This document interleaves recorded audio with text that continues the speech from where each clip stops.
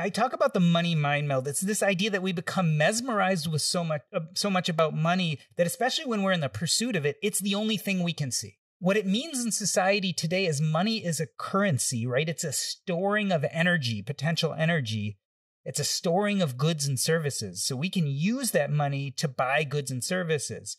But what we're really talking about is freeing up our life with that money so we can pursue our sense of purpose and meaning. That's all it really does for us. So, in order to really get past the money mind meld, you have to realize that money is not making you happy. Money will solve your basic money problems, but nothing else. And that money is a tool, one of many tools, right?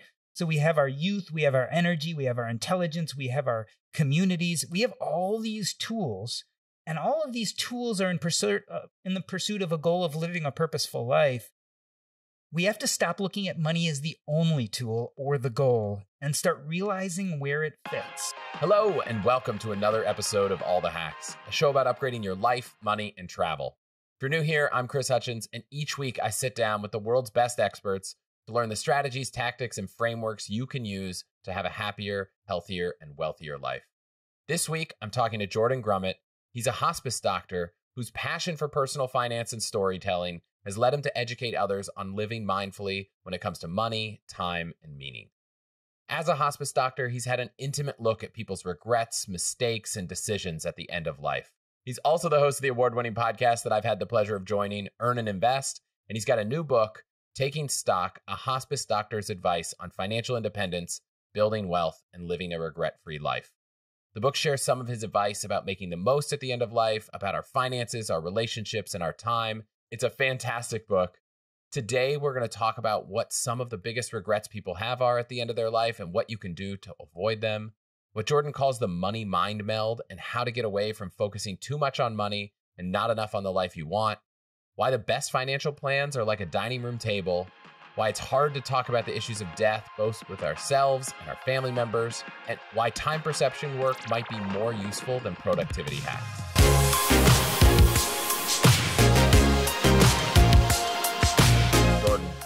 The show. Thank you for having me. I'm so excited for this conversation. Yeah, me too. So, this isn't the first time we've talked about regret on the podcast. Dan Pink and I talked about his book, which is all about regret. Ben Nemtin had a bunch of learnings about regrets of the dying that sparked him to totally change and upend his career and his life.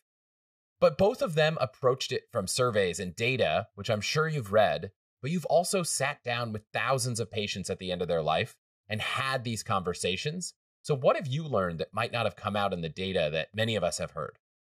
So, in hospice care, when we're taking care of the terminally ill, it is a very normal thing for us to sit down with patients and talk to them about their lives. We call it a life review. So, as opposed to a quantitative look, this is very qualitative. We sit down with people and we ask, What was important in your life? What did you achieve? What didn't you achieve? What do you hope to achieve in the next few months?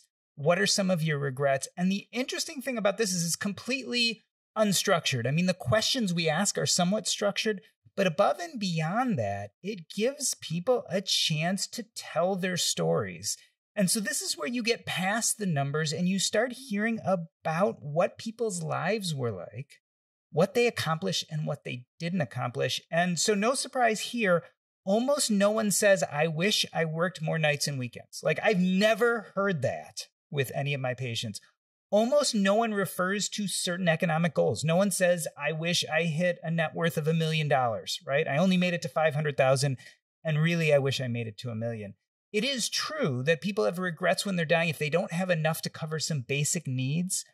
But above and beyond that, it's a lot more about the things that were purposeful to them that they never strive towards, that they never looked in the mirror and said, okay, life is finite.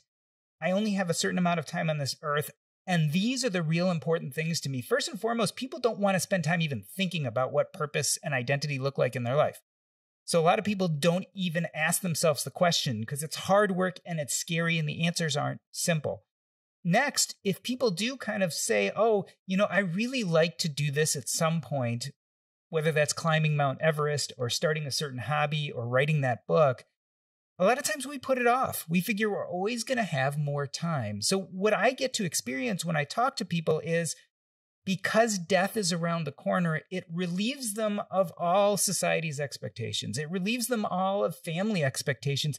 They get to drop all the junk and look at their lives and say, what was important to me and did I accomplish it? And often those things are what I like to call the climb, right? They're things that have to do with what purpose is in our lives. They're things that we're deeply interested in doing they're things that bring us happiness. And often at the end of life, what people really regret is that they didn't spend enough time doing those things, right? They didn't write that book. They didn't spend more time with those people who were important to them. They didn't resolve that fight they had with their best friend from 20 years ago. These are the kind of things that really weigh on people.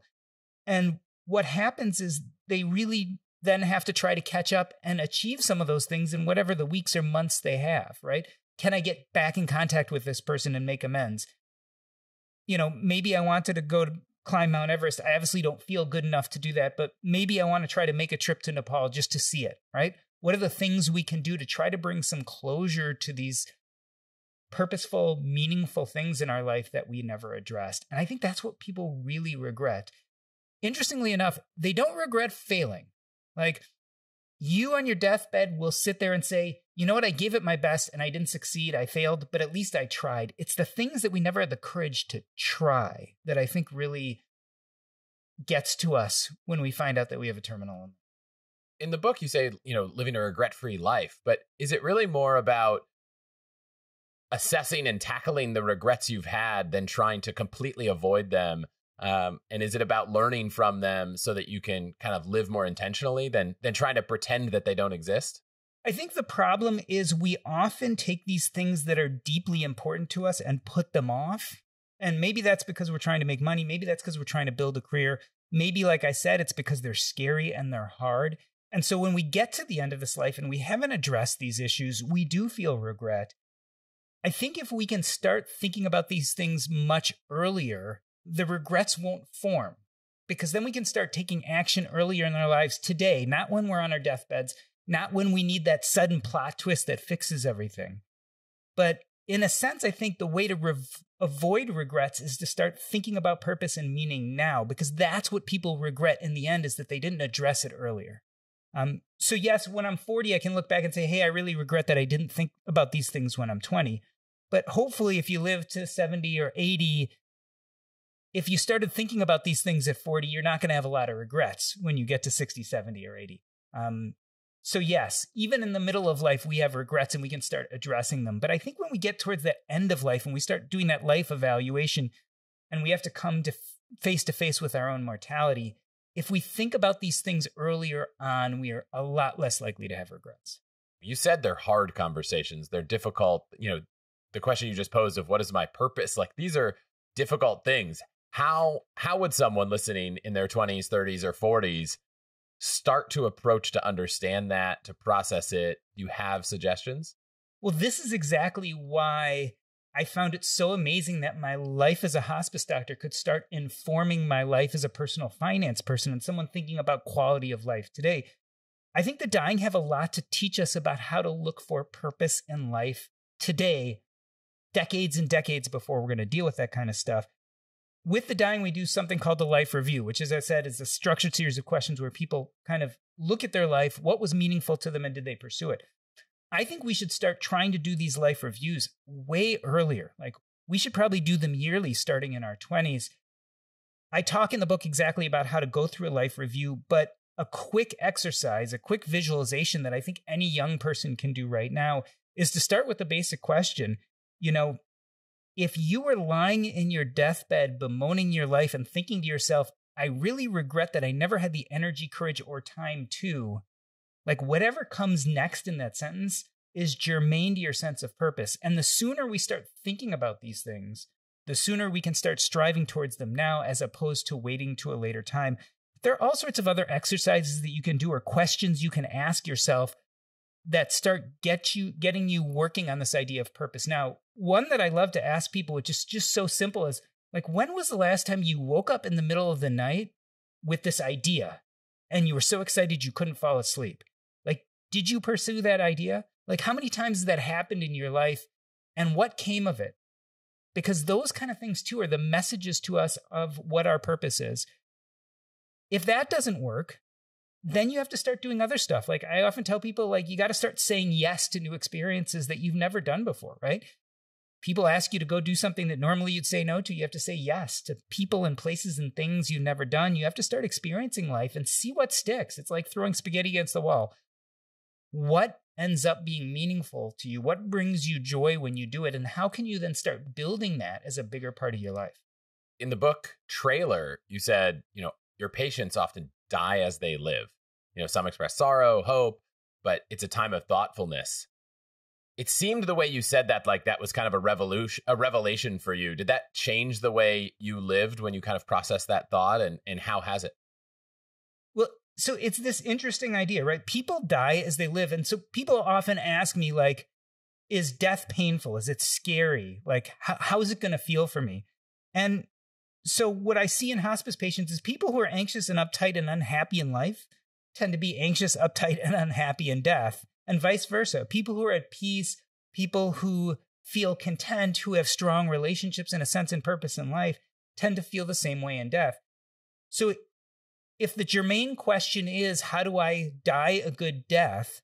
The answer is, let's start working on living a good life. So I think if we come to terms with some of these issues at a much younger age, the process of dying becomes a lot easier because you're a lot more at peace with what happened in your life. Um, so yeah, it was kind of a revelation because it again made me start to look back and say, we're doing this too late.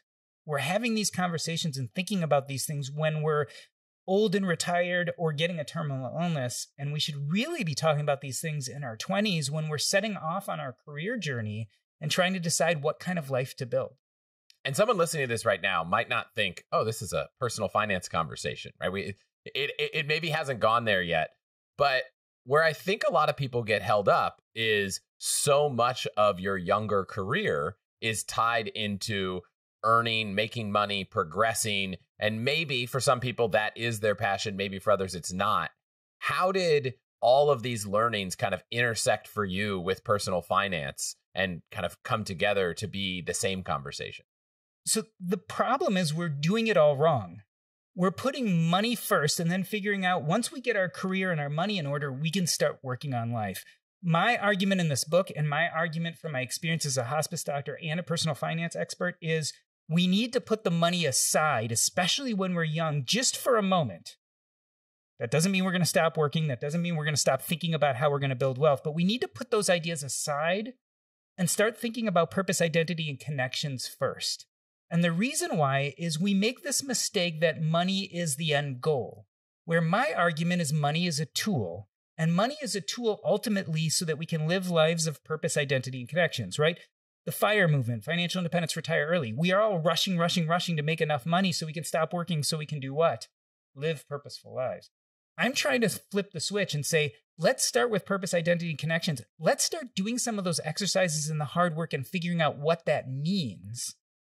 And then once we're on that path, that's when you start looking at your finances and saying, how can I now build a path to financial independence or a financial structure that supports that purpose, identity, and connections. And that way we can be really intentional about why we make money, how we make money, and what we're doing this all for. When we don't do that purpose and identity work first, we are chasing after money as a goal. And often we don't even know why. We get this idea of a certain net worth, we get this idea of a certain job position, and it sounds great and it sounds meaningful. But a lot of times when we get to that place, we get to that net worth or we get to that job we were so excited about, we actually feel more depressed as opposed to happy. And there's a few reasons for that. One is because money's a little bit of a false goal. Looking at your bank account isn't going to make you feel more purposeful or give you a better sense of identity. So when you get to that place you thought that was so great, like a million dollars in the bank, most likely two things are going to happen. One, you're going to start saying, oh, well, I don't feel as good as I thought I'd feel. Maybe I have to start going after 1.5 or 2 million. So before you know it, you're right back on the treadmill trying to make more. The other thing is this idea of loss aversion the fear of losing is almost twice as bad as the fear of never getting there in the first place. So the minute you get to that million dollar net worth or you get to that job promotion that was so exciting, you start worrying about losing it. Like, oh my God, the market's going to change. Something's going to happen. I'm going to have this big expense. And all of a sudden, I'm not going to have my million dollars anymore. And that actually causes us to be more fearful than happy. And I see this especially in the financial independence movement. When people get to financial independence, they get to that net worth number and they find themselves crushed, anxious, and afraid. And the reason why is because none of those things really have a real sense of purpose and identity. There's no meaning in those things. They're just these easy goals we set up. And they're really easy because they keep us from doing the hard work of trying to figure out purpose and identity. It's really easy to go for the low hanging fruit. It's really comfortable. It's what society expects us, expects of us. We can go on Instagram and see all the pictures of people taking beautiful vacations and having beautiful things. And it's really easy to strive for all that. But in the end, I don't think it makes us happy. And so that's kind of where I'm coming at this from. That's why I realized when I started looking into personal finance, I started blogging and podcasting, I was already financially independent. So to me, it wasn't really exciting to go, okay, how do I invest? How do I save? How do I set up my 401k? I felt like those 101 conversations are important, but they weren't what I wanted to have. I wanted to have those 201 conversations. Now that I'm starting to get a hold of my finances, what do I do? But in having these conversations, I realized I was a little bit late to the game. Like my life would have been served much better if I had started thinking about what was purposeful first and then started building my financial framework. Let's say we're all bought in with we need to figure this purposeful conversation out at the beginning. Is that just the life review? Are there more steps to that process before you kind of, if you've set money aside, bring it back into the conversation? Or how long should someone expect it to take to figure that out? So I think figuring out your purpose and identity are things that take years, but I actually suggest that people take a few months to really start doing some meditation, some thought, and some of these purpose and identity exercises. And we can go into some other ones like identity exercises if you want. Once you start doing that and start saying, okay, these are the things in my life I feel that are important, I think then it's fine to start looking at your financial structure and saying, okay, I need to build a financial pathway but let's see how I can at least take this idea of purpose and identity and build it into that. So, what kind of jobs am I doing? What's my end goal? What am I going to take this tool of money that I'm making and how am I going to use it? The important question is how are we going to, instead of deferring all of our gratification and spending all of our time front loading the sacrifice and grinding it out to do well at work and make lots of money, the idea is how can we enjoy today and tomorrow, right? Not just kind of put it off till later. And so I think this happens simultaneously, but I think you need at least a few months of thinking about purpose and identity before you really start jumping into how you're going to change your financial life.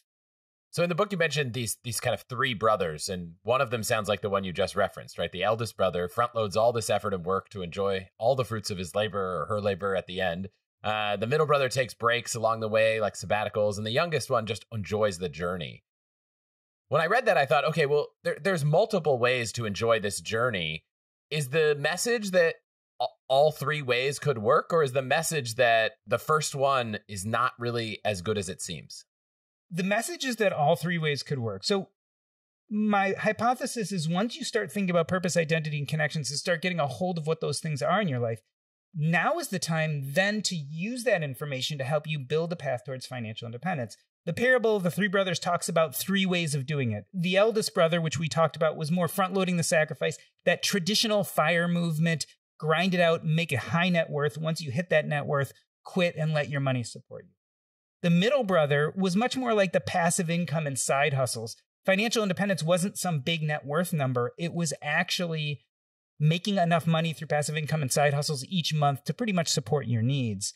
And then the youngest brother's the passion play. This is the idea that if the goal of financial independence is to live a life of purpose, identity, and connections, if you're lucky enough to come out of college or high school and find a job that fulfills your sense of purpose, identity, and connections, something you do even if you weren't getting paid for, but you happen to get paid enough to cover your monthly needs, in a sense, you're immediately financially independent, although you may work till 60 or 70 because you're probably not saving a lot and you're just covering what you need any of these three mechanisms, these archetypes, are fine. In fact, I argue that we may switch back and forth from time to time, or we might even borrow some of the different techniques of each of these brothers. So when I look at my own trajectory, my father died when he was 40 and I was seven, and he was a doctor.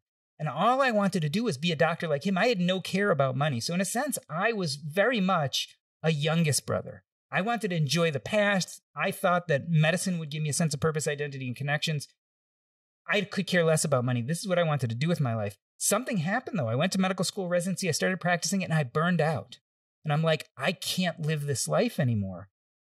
But I also realized that to leave my job in medicine, I needed to build up a certain amount of money so that I could quit my job.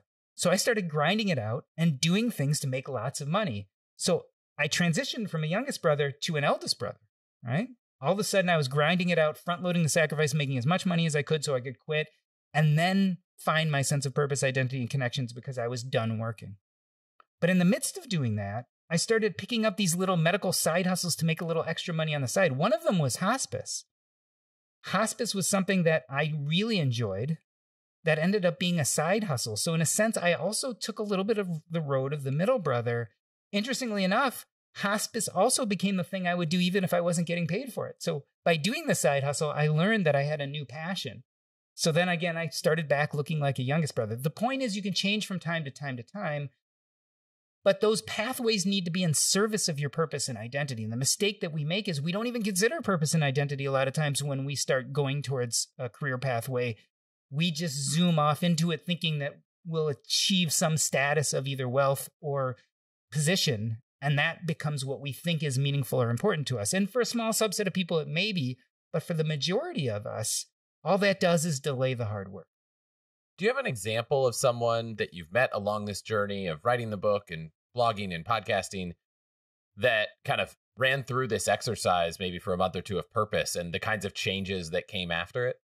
I mean, I did. That's exactly what I did. So, what happened with me is I realized I was burning out of medicine. I didn't want to be a doctor anymore.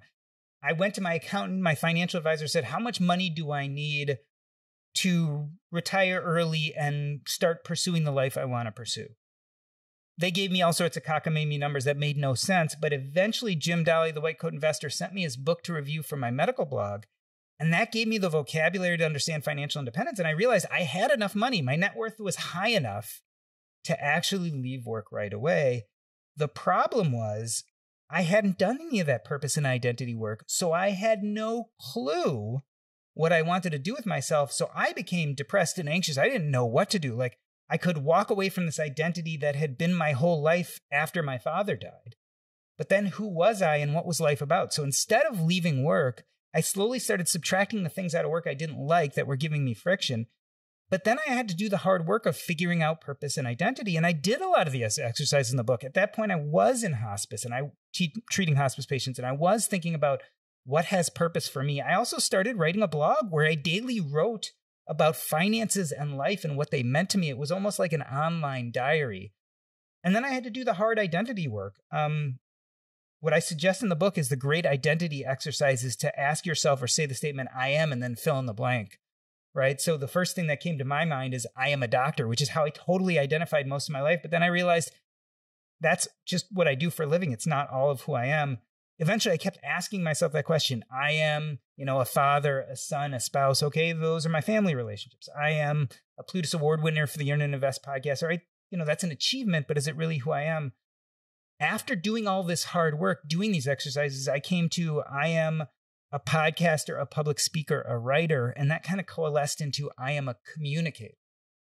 And that identity fit. So now I had a sense of Purpose was to have these great, amazing conversations where we talked about important things. Identity was that of being a communicator. And I had to get there before I could actually transition fully out of being a doctor and start subtracting more and more out of my job until I was left with the one thing that was still very purposeful for me, which was the hospice work. So I've done this exact process. The interesting thought when it comes to my career is when I started medical school, I actually volunteered in hospice the first week of my medical career. So my first patient I ever saw was as a hospice volunteer. Something in my chest was telling me hospice work is for you. But instead, I ignored that. And part of the reason I ignored it is because it wasn't as prestigious and it didn't make as much money as all the other things I could do. But I go back now and I say, if I had understood purpose and identity, if I had done some of this hard work at a much younger age, I might have started my medical career in hospice and I probably would have never burned out. And interestingly enough, I probably would have made a lot less money. I probably wouldn't have made it to financial independence, maybe into my 50s and 60s, as opposed to now I kind of made it in my early 40s. But I probably would have enjoyed my career more. And it would have been an alternate pathway that probably would have saved me a lot of pain and anxiety that I got as I burned out in medicine when it wasn't really meeting my expectations. So I had to do this work, and I'm a perfect example of why putting purpose and identity first might have made my trajectory easily easier and less painful. And I feel like I have a similar experience where I meet people, I talk about that, that have known me well and tell them about that I started this podcast and they're like, "Yeah, you were supposed to do this 10 years ago." And I was like, "Well, why didn't you tell me 10 years ago?" Like, you know, it seems like everyone I know thought that this is what I should be doing, but somehow I was the last person to figure it out. I don't remember if I read the exercise in the book, but sometimes I like asking other people who know you really well to talk about you uh, because it, w- it was shocking to me that everyone thought I, I should be doing this before I knew it. And I thought, man, if I could just have somehow interviewed them and asked them. So now I regularly ask people that know me well, like, what are things that you think that I should be doing more of? What are what are the things I'm doing that you you wonder why I'm doing uh, to try to pull that information out? I mentioned that in the identity section in the book. And if you're having trouble with the statement, I am, and filling in the blanks, it's a great time to do exactly that. Go ask family and friends and be aspirational. Like, not only what am I today, but what could I be? Like, what am I in my most heroic life? And I think, again, those type of exercises, interviewing your family, say, well, how do you see me as? Um, is very powerful because you're right. We have we ourselves have these blind spots. And again, I think sometimes we spend a lot of our time pursuing things and worrying about what we think we're supposed to be doing as opposed to what we want. And so we do so little work about trying to figure out what we want. Again, the dying, it's amazing. You find out you're dying, and all of a sudden, all you can think about is what you want. And so I'm trying to bring some of that urgency a little earlier in our lives so that it can help guide us along the journey you shared for yourself, you kind of talked about this trap that in the book you call the money mind meld, where you know you care way more about the money. And I found myself in the same trap. It's like we got to get to this net worth, we got to get to this net worth. Yeah, I recently read uh, Die with Zero, and I was like, maybe the net worth I'm really targeting is ending with zero. Like maybe the number doesn't matter, and you know, but how did you get out of it? You know, a lot of people that I think listen to this show, people that I know are, are kind of optimizers stuck in that. Can, can you talk about that transition? I talk about the money mind meld. It's this idea that we become mesmerized with so much, uh, so much about money that, especially when we're in the pursuit of it, it's the only thing we can see, right? We forget about everything else that's important to us. The problem with the money mind meld is once you reach that goal, you get to that place that you thought was so vaunted, you don't find yourself happy. And this is really what it comes down to. Money doesn't really ultimately make us happy. And so we have to change our mindset and really start thinking about money as a tool instead of a goal, right? Money itself does nothing for us, right? They're numbers on a computer screen or useless pieces of green paper if you happen to have cash, but that doesn't really, like when you think about it, that doesn't mean anything. What it means in society today is money is a currency, right? It's a storing of energy, potential energy. It's a storing of goods and services. So we can use that money to buy goods and services. But what we're really talking about is freeing up our life with that money so we can pursue our sense of purpose and meaning. That's all it really does for us. So, in order to really get past the money mind meld, you have to realize that money is not making you happy. Money will solve your basic money problems, but nothing else. And that money is a tool, one of many tools, right? So we have our youth, we have our energy, we have our intelligence, we have our communities. We have all these tools. And all of these tools are in pursuit uh, in the pursuit of a goal of living a purposeful life. We have to stop looking at money as the only tool or the goal and start realizing where it fits. So I guess one of the ways I really tell people is, you know, think about what happens when you reach that money goal. How will you feel? And at first, people are like, oh, I'd be so excited and happy. And, and then you kind of say, well, what next? What would you do? What would that money get you?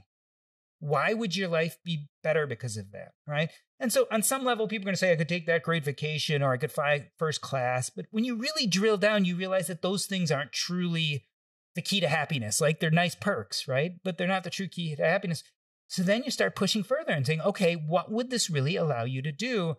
And if people are really thoughtful, they'll eventually get to this point where they're like, it'll allow me to do this thing I always wanted to do that I was so scared that I never had time. And then you start saying, well, why couldn't you do those things now? Like, is it really money that's holding you back? And what you realize is that money often becomes an excuse, right? Yes, if you had all the money in the world, you could stop working completely, and that would give you a certain amount of more time to pursue things. But most people realize that when they actually get a hold of what's purposeful and has meaning for them in their life, they could start bringing those things into their life now. And that the money is just an enabler. But again, we have some of these other enablers. And when you only focus on the money, a lot of times when we get to that point where we have enough money, instead of actually allowing it to, to enable us, it makes us more fearful and we either go for more money because we don't know what the heck we want to do with our lives or we just get afraid that we're going to lose it. Yeah, this is part of my my gripe with the fire movement. Now, I'll caveat. So I, I was in a documentary on it. This in Playing with Fire. I'm, I'm, guessing you've seen it because you know, we a lot of the community has watched it. If anyone hasn't, I'll link to it in the show notes. But you know, in the recent past, especially through your book, I really struggle with the RE part, like the, this idea that we should get all this money so that we can stop working and, and just kind of do nothing or travel or whatever it is. And I think the word retirement is too messy.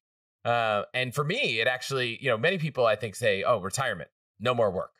For me, I think if we could reframe that concept as financial independence is just when money lets you do the thing you want to do.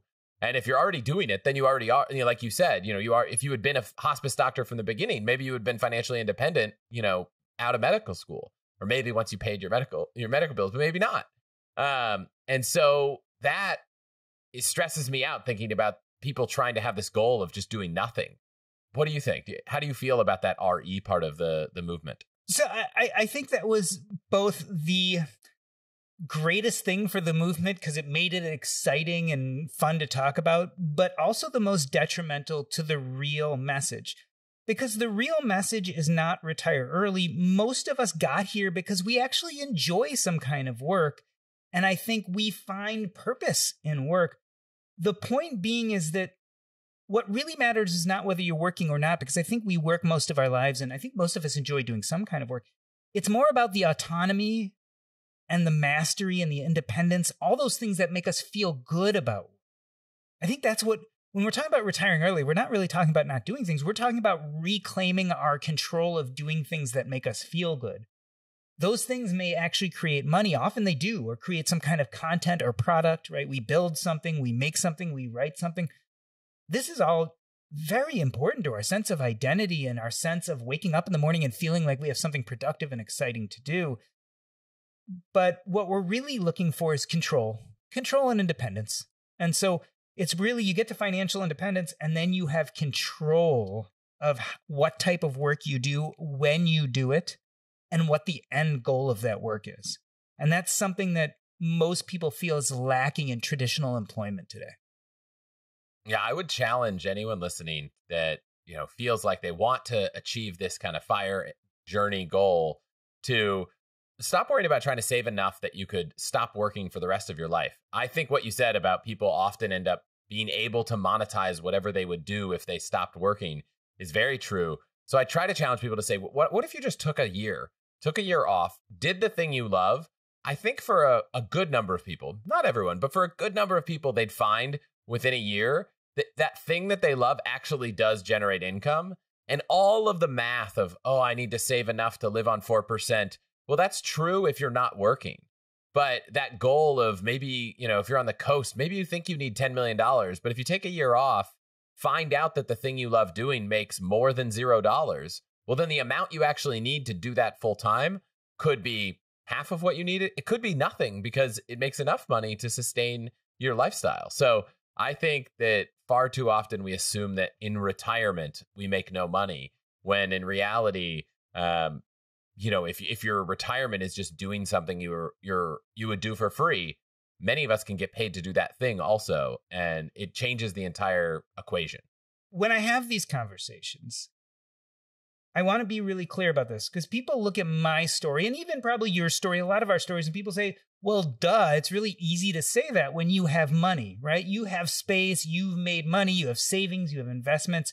It's really easy for you to say these things but I'm a 22 year old out of college. I have just enough money to cover my rent. I'm barely putting food on the table. You know, it might be easy for you, but for me, I don't have time to do all this stuff. And this is this is the conversation I really want to have, right? Because again, it's easy for us in our 40s and our 50s when we have some savings to start talking about meaning and purpose and side hustling and monetizing things so that we can stop doing what we don't like. But you know, the 20 year olds, the people who are struggling to put money on the table are looking at us and saying, yeah, that's a real privileged, you know, version of life that we don't have.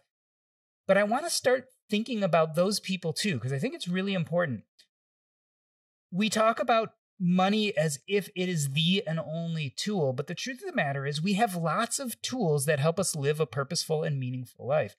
So if you are 22, you just got out of school or you didn't go to school and you're just, you know, working that 8 to 6, 8 to 6 barely getting by and you're like I don't have space in my life for side hustles. I don't have space in my life for these things. You know, I would like to look at those people and say, well, money is one tool, but again, you have other tools. You've got your energy, you've got your youth, You've got your communities, you've got your skills. So maybe you work your eight to six Monday through Friday, and then on Saturday night for three, three hours, pick something you're really passionate about and start a side hustle, right? Three hours on a Saturday. Let's see what happens with this in six months. If after six months you've been doing this passionate side hustle three hours every Saturday and you make zero money from it, guess what? You still just added purpose into your life by doing something you like and you're passionate about. So you've won, even if you haven't made any money. But let's say you were lucky enough to make a little money doing this side hustle. You used your tool of energy, which I don't have in my 50s. I've got, you know, kids, I'm busy, I don't have nearly as much energy, but you're in your 20s, so you have a little more energy. You use that tool of energy instead of the tool of money. You created the side hustle. The side hustle made a little money. You hate your eight to five maybe it becomes a nine to five. Or maybe it comes becomes a four day a week instead of a five day a week. And then because you have a little more energy now, and you're really liking that side hustle because you're passionate about it, you keep building it out. Maybe in three or four years, it's covering 50% of your income, and you drop your job even further. Or maybe it allows you to go to a job you like a little bit less, where you're still working a lot, or that you make a little less, but you like doing it a lot more. So the point is, how do we use purpose to create space in our life? How do we use all these other tools we have, including money, to start being more thoughtful about what we're doing with our time now? So you and I can look as we get older, as we have more money, and say, okay, now we have this tool of money to get us to this place where we have more control. But I'd like younger people also to start thinking about ways they can take more control too of the lives they're living um, so they don't get caught in that rut where they're 40 or 50 and they have tons of money, uh, but they've never really spent any time thinking about what's really meaningful to them. Yep.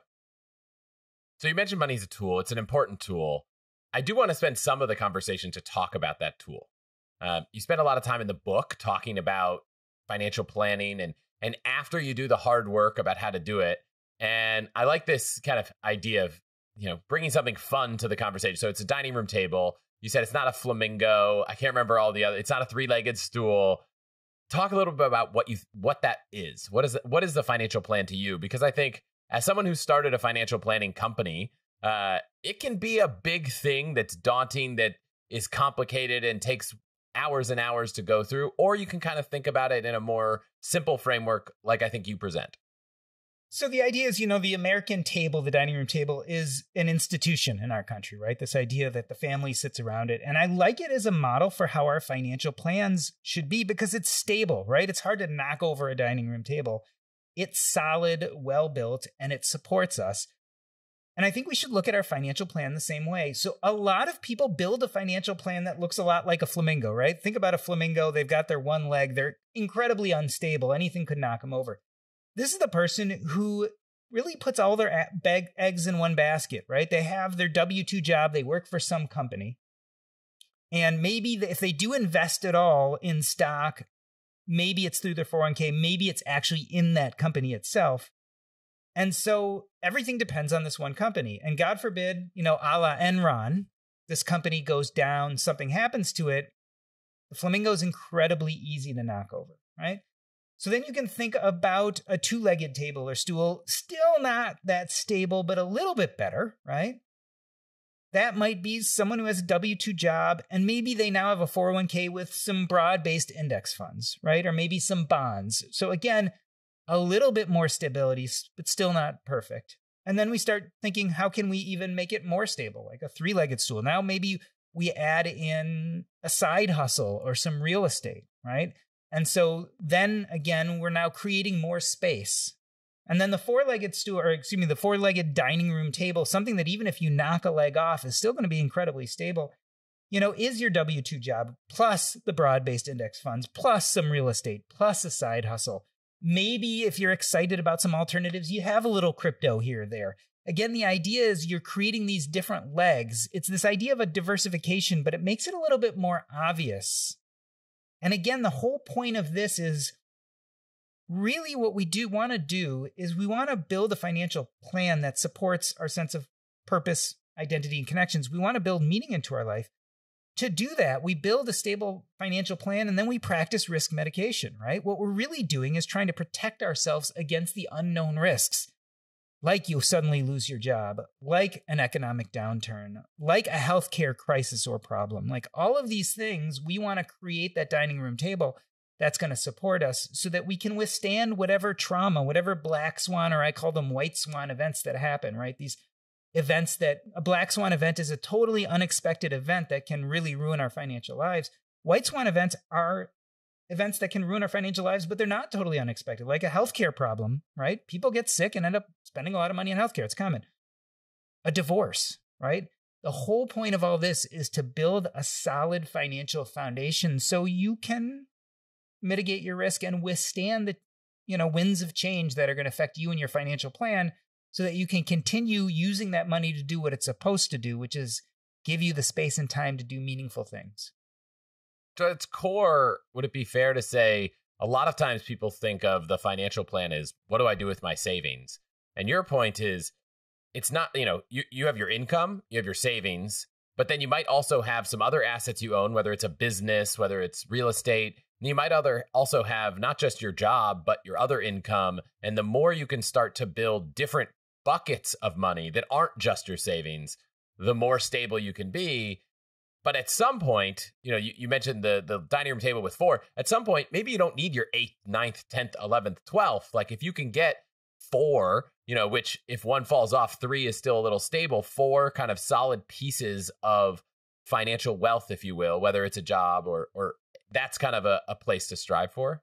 Yeah, perfect is the enemy of good. I, I love these posts on social media where you have someone in the personal finance world that says, I've got nine forms of income. And they love to say their different side hustles and their different stuff. That's great. But for the majority of us, four or five revenue streams that are stable, that are diversified, that are uncorrelated. Like, I don't want to go too far, but how can we start building these streams and be thoughtful about it, right? So, okay, I'm going to retire. Do I have a pension? Do I have a 401k that I can start taking distributions from? Um, do I want to set up an insurance policy that'll pay me like a SPIA? Like there are different ways of doing this so that when one revenue stream drops off, you can create another revenue stream. And therefore, again, you can protect yourself from change because that's ultimately, we have no control over change. We have only control over the best planning we can do and then what we do with our lives. So that's the planning piece. But you do talk a little bit about how one of the ways to tackle your finances is to spend less. Like we, the, the, the, a lot of these tactics are okay. You can get a side hustle, you can make more, you can do it, but you talk about not just trying to do this, the small things, but really building that kind of savings frugality mindset into your daily life. Can you share some examples of how you've done it and how people might do that to make their finances a little more automated in terms of how they save for the future? Yeah, you know, there's some tips in the book about just simple things. I especially talk about it when I talk about budgeting, because I think budgeting is something that people really struggle with. And my family has never been a good spreadsheet budgeter. So there's great apps nowadays, and you can do all sorts of spreadsheets on budgeting. But I think there's some really easy things you can do that help streamline your budget to make sure that you're not spending frivolously. So with my wife and I, we were lucky enough to both be employed and have two decent jobs. So a basic rule for us is, you know, we lived always off of one salary and the other salary went directly into either, you know, savings accounts or into investment accounts with us not even seeing them. So it was as easy as you want to buy something, there's either money in that checking account or there isn't. We took half this money off the table before we even had a chance to think about it. So simple things like that other little things, you don't have this as much today, but it used to be back in the day. If you wanted to buy something from a vending machine or something, you had to have the money on you, right? You used to have to have cash. It was before the days where we all had phones and we could just hold our phone up to the vending machine. So an easy thing I did is I never carried cash. Some people never carry credit cards. It's like, okay, I'll have my one safety credit card, but I'm not even going to give myself the means to spend. Other things you can do is like we rarely make big purchases on a whim or on a spur, right? Like, so if we're at Target or if we're at someplace and we see something that's $500 or even $250, $250, we're unlikely to go buy it the moment we see it and think we need it. So often there's a cooling off period, especially with something new that we want to buy, where we give ourselves a week to think about it just to make sure we truly need and want this thing. You know, I think there are a bunch of other different hacks we can use. We can automate we can again make sure that our money is going right out of our paycheck into things like our 401k so we don't even see it. Um, but i always say with you know savings that you can only squeeze so much water out of a stone right? There's only a certain amount of movement we can make there. Um, and it doesn't make sense to squeeze so hard that life is painful right? If you have the choice right? If you don't have the choice you don't have the choice. But if you have the choice um, you don't want to squeeze so hard that you're not enjoying your days and that you're suffering so, so I'm going to transition a little bit here. We talked about our personal finances as people listening, thinking about it. But another important thing is thinking about others' finances, and especially, you know, the legacy you leave, the legacy your family leaves. Um, you know, you intentionally don't use estate planning as much as financial legacy documents. So I'd love to hear that story because I think it, it makes it a little easier. But how do you think people should approach that and as well as the conversation with their loved ones who maybe aren't thinking about it? I think when we talk about estate planning, it's this big, scary idea, and it's really easy to put that off or not pay attention to it because it seems so complicated. And again, let's not forget when we're talking about estate planning, what we're really talking about is what's going to happen when we or our loved one dies, and no one likes to talk about that, right? Because you start thinking about what's going to happen when this important person is gone. I like to talk about our legacy documents instead, because as opposed to thinking about when someone's gone and no longer with us, I like to approach it as this is the way you're going to stay positively in people's lives, right? By planning appropriately, by doing these financial legacy planning or the financial legacy documents or the medical legal legacy documents. This is so that your impact remains, that you still affect those people you love, and that even, God forbid, when you die or a family member dies, that that positive effect is still out there in the world for years and years later. So this is your mark on the world but it's a difficult conversation to have. And I especially think for people in our age group, a lot of us are in that sandwich generation where we have young kids, but we also have parents who are getting older. And I'm dealing with this right now with my in laws who are currently moving. It's really hard to talk to your parents about money issues and your money situation. So in the book, I talk about a few tactics that help you start these conversations in a way that's non confrontational. So, one of my favorite ways to start these conversations is you ask for advice, right? So, people are very open to having us ask them for advice. So, let's say you actually understand this, you know, legacy planning yourself. You actually have a good hold on it, but you want to start broaching it with your parents. The easiest way is say, look, you know, I was thinking about doing a will and maybe a trust. Mom and dad, what did you guys do? Like, what should I do with this? It's kind of foggy in my mind. I don't know what to do. It's a really great way of assessing where your parents are because then they're going to, you know, feel like they're giving you advice. So they're going to be open. They're not thinking you're like, mom, dad, when you die, what am I going to get of yours? That's not what you're asking them. You're saying, I need to do this for my family. You know, what should we do? It's a great way to broach the subject and get a feel for how much thinking they've done on this. You may find that they've done tons of thinking about it. They have their wills and their trusts, and they can actually tell you and help you do it yourself. Or they might look at you and say, hmm, we've never thought about this before. And that's a perfect chance to say, well, I'm doing it. You want to do this together? It's a great way to start the conversation. That, that's lesson one way to do it. Another way I really like to broach the conversation is, you know, being in hospice, I've seen some real tragedies. So it's easy for me to approach my parents and say, you know, I was taking care of this guy and his mom was sick and she had Alzheimer's. And the dad had taken over everything the medical power of attorney. He had taken over the finances for the family. And I, my patient, he was really happy. His parents were managing all these things because his mom was getting sick and he just wanted to be with his mom. Then COVID came along, and all of a sudden his dad got sick and was on a ventilator. And guess what? I didn't have the financial power of attorney. My patient couldn't pay for his mom's needs because his dad was on a ventilator and he didn't have any rights to all the financial paperwork, to the checking account, to any of that. So I've experienced these things, and I could go to my parents and say, you know what, the funniest thing happened to one of my patients, tell that story and say, gosh, I hope that kind of thing doesn't happen to us. And so by talking about how other people have had these bad experiences, it's a wonderful way to actually breach the conversation with your loved ones and it's a real non confrontational, easy way. So that's another way to do it. And the last way I really like to do it is to talk about it in terms of legacy. So instead of saying, when you die, who's going to get what stuff of yours, to go to your parents and say, you know what? My kids are young. And I, as well as I want my kids to really remember you the way you are after you're gone. Let's talk about how you want to be remembered. What do you want the kids to have of you? What do you want them to remember? What what is your legacy?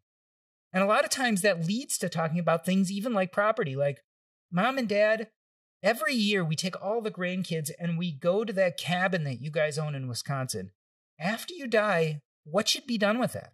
Like, do you want us to still do that and think of you every year when we go do this? Do you want us to sell it? What what would you want done with this thing? But by framing it in terms of their legacy, I think then you can open up the conver- uh, difficult conversation and make it about celebrating the people we're talking about. Because the idea behind this, and no one thinks of it this way, but really estate planning should be a celebration of people's lives, right? We should celebrate with their medical legacy planning, like living will, medical power of attorney. What we're doing is we're celebrating their dignity and what they want done for them when they can't speak for themselves with their financial legacy documents, like their their wills and their trust, we're celebrating all they've achieved economically, all the things they've acquired, and how those things are going to continue in the world after they're gone and they're going to stay present in our lives. So if we can reframe this as a celebration, I really think it makes it much more approachable and it makes the conversations much easier. Yeah, you just gave me an idea, which I think is really interesting. So two two things came from this when I was just listening. One, something I want to make sure, you know, my wife and I do is, and I wish that we had done with my grandparents is, you know, take some time to capture who they are, their story, whether that's on video, whether that's written, um, so you have something to share. So that's just something that's top of mind for me. Is you know, I I saw Sean, I think from my first million, posted that he did a podcast with his mom where he interviewed his mom like he was doing an interview, but he didn't publish it. Right? He didn't. He didn't go out and share it with the world. He just did it because he wanted to have an archive of a conversation he had. So that was one, which I thought was just really interesting, was trying to document um, these people that are important in your lives that won't be there forever. But the other is talking about ways that you could keep alive things. So in your case, there's an actual physical cabin, right? So um, that might be something that's a lot easier and, and tangible. But if your family is really loved going to a cabin, but always renting it. Maybe you could ask your parents, you know, uh, you, if you have money left over, yeah, you could give it to someone, but is there anything you want to do with it? You know, you think about people with tons of money and they grant these scholarships so kids can go to school under a program. Or I remember my sister's college, someone donated a pool of money and the whole purpose of it was for it was enough money that the interest on the donation would be able to buy a passport for every kid at the university that never had one. And I thought that was so cool. And uh, I, I'm now thinking, oh, if I have money when I die, I would love to not just leave it, but also leave a purpose for it. I would love you to take this money and take a trip every year and, you know, like we took when we were, you know, that kind of thing. So trying to talk about this with your parents, but maybe to turn their legacy into something tangible that you can bring to life with your family and can be passed on is is a really interesting idea that I'd never thought about. I think our lives are like a stone being dropped in the ocean. We are here for so little time, and once we break the water, we're gone. But the ripple effect of that stone can carry on for miles and miles and miles. And so, a lot of the thought is what is going to be the ripple of my life? And so, I'm convinced that living this life of meaning and purpose is going to affect those people around you by thinking about your legacy planning, by setting aside money to do those important things. That's going to be your ripple that will carry on after you're gone. And I I personally find that extremely comforting. I imagine those in their final days would find it comforting to know that mm-hmm. what they care about is going to, you know, kind of transcend their own life into others. Yeah, totally. I mean, it's about legacy, and that's why I think we should call it legacy planning. Are there any things that you think are commonly missed in legacy planning that uh, you know aren't as daunting to go tackle as maybe an entire estate plan, or maybe you've done that, but you know things that you're like, hey, even if you think you've done it, make sure to think about X or Y or Z that might not be the obvious. Yeah, you know, I hate to say it, and it's so estate planning 101, but it's so straightforward. Everyone needs to go check their beneficiaries you just you need to of all your policies and you need transfer on death for all your bank accounts. Right? It's just such an easy thing to do that everyone forgets to do and it can save you a huge amount of hassle. I talk about in the book and I actually interviewed someone on my podcast whose husband died and they were both very young and he never changed the beneficiary on his life insurance policy because he had set it up a decade earlier and he had an ex-girlfriend's name on it. And think about how painful and difficult that could be. A life insurance policy is supposed to, God forbid, you die. It's supposed to make your life, family's life easier. And then you find out that this money is all set to go to a stranger. Lucky enough, you know, the stranger in this case transferred the money over to the true beneficiary, to the person's wife. But these are easy things and we forget to do them. And so, like, do the easy things first and then we can start track, you know, looking at the wills and the trusts and the big stuff. But do the easy things first.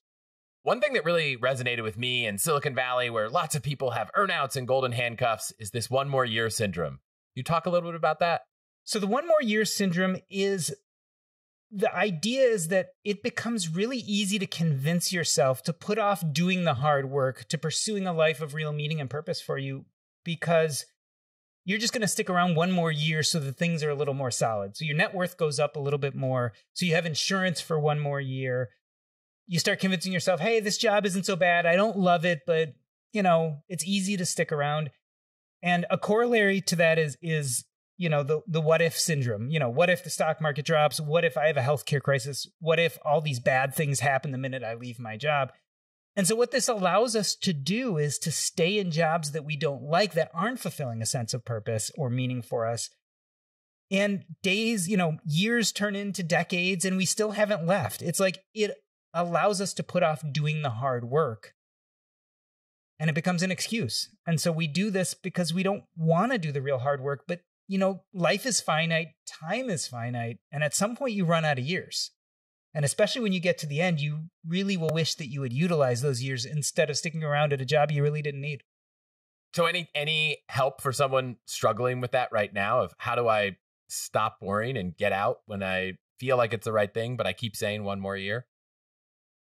So what I've done and, and what I certainly did in my career is instead of taking the full plunge of just going from working full time being a doctor to not being a doctor at all, I started just subtracting out stuff I didn't like at work. So I took the middle ground. I just said, okay, let's look at all the things in my job I don't like and start getting rid of them. So can you go part time? Can you go half time? Can you get rid of the clients you don't like anymore? Can you hire someone out within your job to do all the things you don't like and just spend the time doing things you do like? Like, how can we bring more purpose even within that work setting? That's one way. You know, the other way is to just at some point bite the bullet and say, you know what? If I leave my job and I don't like what's happening, I can always go back to work. And for a lot of people, they can. And so a lot of times you have to turn it around and stop saying, what if this bad thing happens? And start saying, what if I don't have that much time left? Like, people worry about running out of money, but what if you run out of life? And I think when you start framing things in those terms, they realize that, yes, if your finances are iffy, maybe you do need one more year. But if it's pretty clear cut and you're like, this is pretty good, realize that life and time are finite. And the only thing we can control is what we spend doing in those time units, those little slots of time we have. You are specifically choosing to do something you don't like in that time slot for no other reason than it's easy. And so, how can we change that mindset? A lot of the purpose of this entire conversation has been around the fact that, that there is some finite amount of time.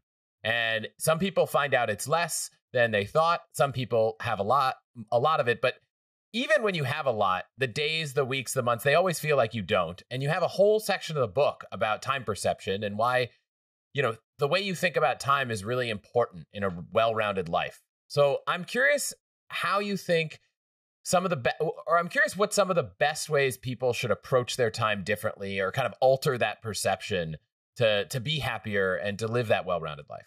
In personal finance, we always talk about time as if it's a commodity, right? You can buy it, you can sell it, you can trade it. Nothing is farther from the truth. Time passes no matter what we do. We have no control. We don't know how much time we have on this earth, right? We don't know if it's 50 years or 80 years or 70 years. We don't know but that's out of our control mostly, right? We can exercise, we can do a few things, but we've got a set amount of time on this earth. That time passes and you can't do a thing about it. So there are really two choices here. If you look at time as a series of time slots, because it's just easier days, weeks, months, hours, however you want to look at it, we can try to control the activities we place in those time slots, or we can try to mess with our perception of time. And that's it, right? So when it comes to what activities we place in those time slots, this gets back to trying to figure out what's purposeful to us and then building a financial life around it so that we can fill up as many of those time slots as possible with things that are purposeful to us and subtract out as many as possible of those things that have no meaning or give us friction, right? So that's that's the one thing we can do. And that's what the book is mostly about is learning to bring more purpose into your life whether you have money or not but then ultimately bringing money as a tool to even help you do that further. That's point one. Then we can mess with the perception of time. And this is a little bit harder to understand. You know, there are all these sayings that kind of touch on this idea but aren't clear about it. Like, you know, when you have kids, you say the days are long, but the years are short. Um, we always talk about this idea that when you're young, time lasts forever, but when you're old, time flies by. The point about thinking about this is just if we know how we feel about time, we can change some things to help us perceive it a little bit better, right? And a lot of this is very personal. It depends who you are. So, for like me, I was very cognizant of the fact that time felt like forever when I was a kid, but as I get older, time seems to fly by. So, for me, the path of the eldest brother actually made a lot of sense because I didn't mind grinding it out when I was a kid. I thought I had all the time in the world as I was in my 20s and 30s. I didn't mind doing the hard work of being a physician. That allowed me to accrue a lot of money so that eventually I could retire early. Now time seems to fly by, but I have so much more control over my time than I ever did at any other time in life. So the perception is that time is flying, but I feel so much more freedom and space because I don't have that many things I have to put in my time slots anymore. It's all up to me. Like I don't have any official things. I don't have to do anything for work. Really, I get a lot more control over this. That was especially the thinking of the financial independence fire people of old was to do that, right? Because they perceived that sometime in the future would be more valuable than time today. Funny, younger people who are entering the fire movement today look at it the exact opposite. They perceive that time today is just as important, and they don't want to put off purpose and identity and connections. So for them, they're looking at like the path of the middle or the youngest brother because they want to enjoy today. They don't want to grind it out. They don't want to waste a second. So they perceive today as more important or at least just as important as tomorrow. So for them, they're not going to really do that path of the eldest brother. They're going to really look to be a middle or a youngest brother. So we can play with what we put in those time slots and we can look at how we perceive time and what feels more important to us. And that's the only control we have of this most important thing in our life that pretty much is going to pass and happen no matter what we do. And are there things you do that you haven't mentioned in your kind of whether it's daily or annual or weekly routine that you think make your use of time more optimal now than it maybe was in the past? So, strangely enough, I feel like I have all the time in the world. So, I feel really now a place of time abundance. Um, and I think there are a few reasons for that. Uh, one is I wake up really early. I love waking up early. And the strange thing, when you wake up at 4:35 in the morning, you just feel like your days last forever. So for me, that's a great way to combat these worries about time. The other thing is because I've been real thoughtful over the years and have been financially successful as well as in other realms of my life, I've really been able to subtract out the things I hate. And so I feel like partially I have an abundance of time because I've been able to get rid of the things I don't like. All those things about work I didn't like, being on call, working weekends, all those stressors in my life. So I think that's a good thing for us to do, whether we have lots of money or not, is to say, how can we substitute things we like in place of things we don't like and start getting rid of those things we don't like? I've also do some other kind of daily habits that really help me. I like something called work bursting. So as opposed to spending lots of time doing important things, I like to set a good two hours aside or an hour and do really hard stuff in a real concentrated burst of energy. And then I put it down and I do something leisurely for the next few hours. So it makes me feel like I have a lot of time in my days because that really hard concentrated work I do in short bursts. And so I really enjoy doing that. There are also some hacks. I mean, in the book, I talk a little bit about Parkinson's law and the Pareto principle. We can talk about that now if you want, but this idea that we can take advantage of these principles like Parkinson's law says that basically the time you have to do a task will end up being the amount of time it takes to do that task, right? So if you have a task and you have five hours to do it, it's going to take you five hours to do. On the other hand, if the same task you only have two hours to do it, it's going to take you two hours to do. So you can play around with this a little bit by, for instance, halving the amount of time you give yourself to do things. So if something normally takes you five hours, say, okay, I'm only going to do it in two hours most likely you'll get 80 to 90% of the quality by spending a lot less time doing it. And there's there's some other tricks you can do. Um, a big part of that, especially when you're doing these tasks, especially if they're burdensome, is being really clear about defining what done looks like. And so making a goal of what done looks like and then deciding that when you hit that point, you'll stop and it's unrelated to time because often we go way past what's appropriate especially if we feel like we have five hours allotted to something instead of two. So I think there's some other tricks and hacks you can do, but the idea is to be thoughtful about how you use time most efficiently and then put those things in place to give you the sense of time abundance. You mentioned that you used to be in a place where you were kind of filled with time stress and running around trying to get more and more done. And now you've gotten comfortable letting go and letting you know your wife your kids kind of set the pace for things. You know for people that are type a out there and that sounds crazy any advice? I think it's about being really thoughtful. I mean a lot of us who are you know successful are used to being super efficient. It's how we got to our success because we could do three things at once or we could get more done in a day than other people and i love that right i think that's really served me at times in my career but the other side is you become so super efficient that it becomes anxiety provoking. And then instead of feeling time abundance, you start feeling time scarcity. And it's the oddest thing that the more efficient we get, the more we start cramping more and more into smaller spaces and start convincing ourselves we don't have enough time. So we start rushing through things.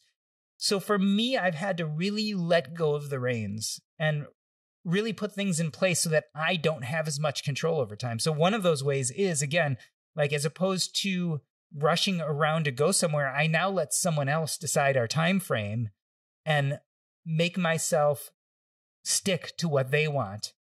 And so I, I unload that worry about time because I've gotten so good and efficient at time that I'm rushing everywhere. And I knew that had to stop. So, you know, it's two sides of a coin, right? In one way, it's really great because it allows us to do a lot of things. But if you get too crazy about time, then you're no longer enjoying yourself and you're rushing to get through what you're doing now to get to the next thing, which kills all sorts of enjoyment or being present in what you're doing. And that's no good either.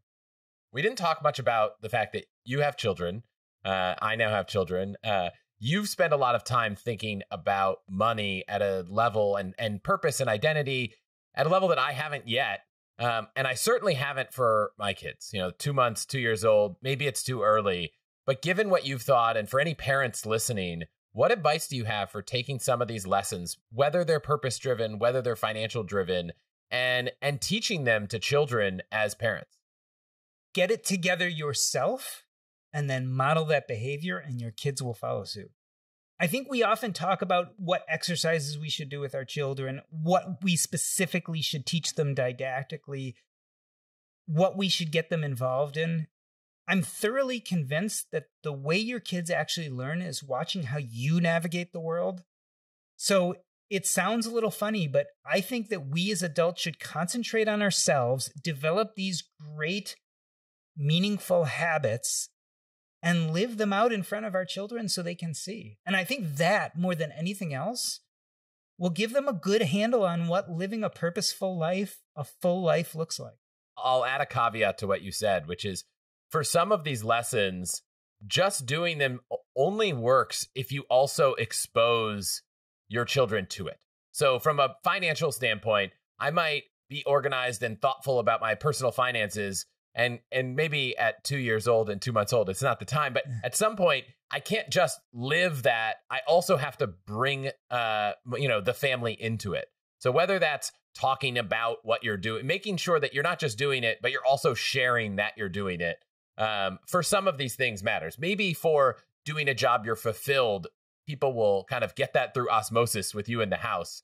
But I do think that when it comes to finances, uh, some of the things that I want to do in the future, or at least just not make them taboo topics that we don't talk about as a family. Yeah, and I think also part of that modeling good behavior to go the next step forward and be a little more explicit is also giving them the space to then try those techniques and fail safely, right? So in our household, one way we did that is our kids could watch how we dealt with things financially, but then we started giving them a yearly allowance, which we gave to them the first of the year. We clearly stated what they were responsible for and what we were responsible for. And then they had to decide what to do with that allowance the whole year. They weren't getting any more from us. And so that was a way we we've been modeling for years good behavior, but then we could actually set up a controlled experiment where the truth of the matter was there was no real risk for them, but they could then experiment, try some of those things, those techniques that we had been modeling, see what worked for them, see that hadn't, make some mistakes, have a little egg on their face when they did something wrong, and then learn. So I think that's part of that modeling is is then to give them some space. And how did the allowance for the year up front experiment go?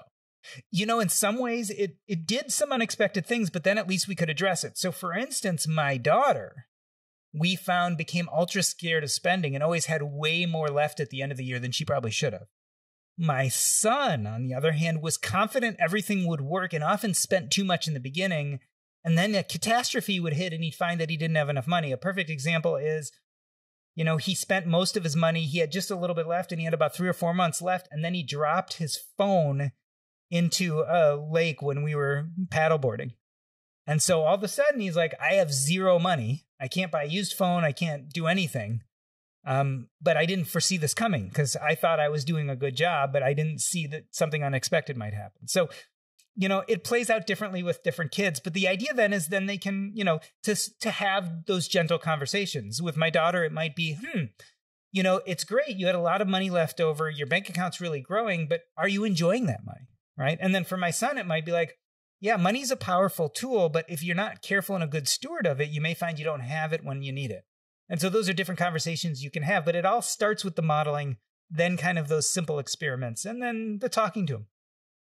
So did you loan your son money against his future year of, of allowance, or, the, or how the, do you handle that one? The, the, darn problem with my son is he's so god darn innovative that I think he, you like. Here's a perfect example. Like my son is known as the electronics guy on the neighborhood. So people give him old or broken electronics.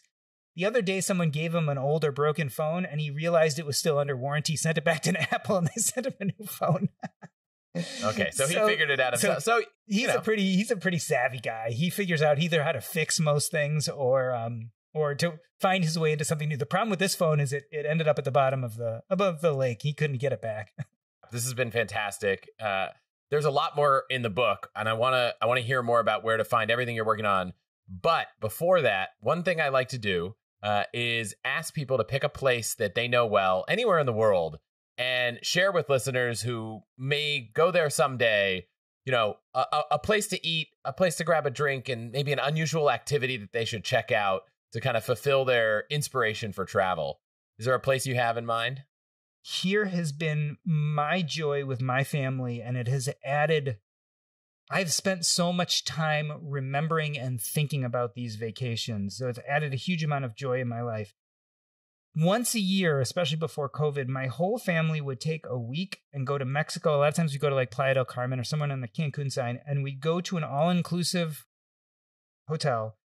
Um, and we would literally sit by the pool for a week all together. We'd go to like they all, the all inclusives have good restaurants, and the wonderful thing about it is it costs a lot up front, but once you pay for it, everything's paid for, right? So you get pretty much all the food, all the drinks, all the sun, all the pool, all the spa that you want. Um, so it's expensive up front, but I've had so many joyful weeks. It's still the one thing I look forward to every single year. It's the thing I dream about in the middle of the winter in Chicago when it's cold and we're all like snuggled up in our beds. Um, and the time I got with my family, with the kids, to to think about the progression every year and how they changed and how we were together um, is priceless. And uh, so I guess the moral of the story is if you get the chance, take some time to go somewhere where you don't have a lot of things planned, but that's just a fun place to be, where you can be with your family with no responsibilities and no worries about money, and just be for a week. And it's really, really valuable. I don't know if this has always been the case, but there are some really nice all-inclusive resorts. I think my assumption is always that they're all like these cheap, crappy resorts, but that is oh, not no, the they, case. They, are some nice ones if you're willing to pay for it. But again, if people are listening to your show, they probably understand how to travel hack. They probably get free flights. They'll probably get some bonuses and some free things from the hotel they go to. So for them, it may not actually end up being that expensive. Um, but it, it's it's a wonderful luxury. Um, and I, I suggest anyone, especially with a family, do it if you can you could go find the book anywhere books are sold. But where can people stay on top of everything you're doing and working on? So the easiest way is to go to jordangrumet.com. That's J O R D A N G R U M E T.com. There you can see links to the book. Um, you can also see links to the three ways in which I create content. So from 2005 to 2018 or so, I wrote a medical blog, uh, tons over a thousand posts there about being a doctor, about life in general. That's linked there. Um, the Diversify blog was the blog I started about personal finance. That's linked there. And then the Earn and Invest podcast is what I spend my most time doing right now, um, which is the most current. And that's also linked there. Or you can just go to earnandinvest.com. But jordangrumet.com or earnandinvest.com are the easiest ways. You can see links to all my socials there and everything and you're on a podcast now, so you can also just search for the Earn Invest podcast. Uh, while you're listening, there's a great episode that uh, you know with, with me, of course. So uh, of course, know, that, that, that was a great episode. um, cool, Jordan. Thank you so much for being here. Thanks for having me. This was a blast.